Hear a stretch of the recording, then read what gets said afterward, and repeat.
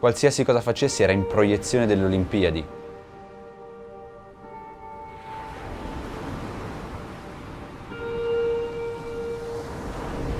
Tutto andava bene per Rio e il mio sogno sembrava più tangibile che mai.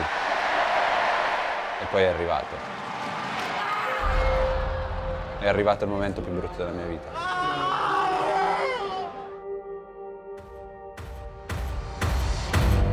Ho sentito il sostegno di tutti gli italiani.